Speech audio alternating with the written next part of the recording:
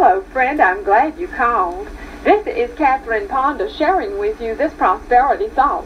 Many people hesitate to seek happiness because they have been taught that to be happy might be selfish or wrong. But just the opposite is true.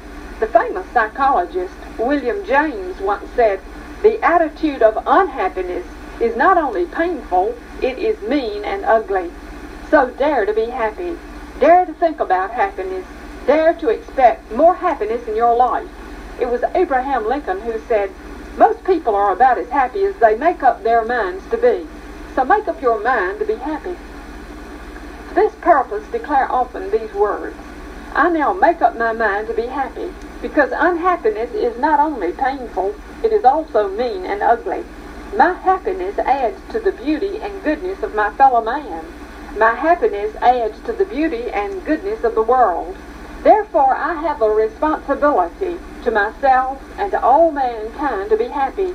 I dare to be happy now. You can bless others by declaring for them.